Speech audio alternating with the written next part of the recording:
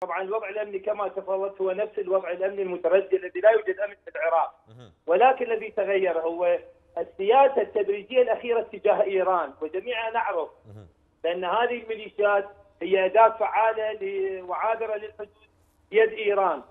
ومن هنا جاء التحذير نتيجة كما ذكرنا لهذه العقوبات والتضييق الاقتصادي على إيران، اذا المتغير هنا ليس الوضع الأمني الخاص بالعراق وإنما العلاقة اللي متازمه أصبحت تدريجيا بين أمريكا وطهران.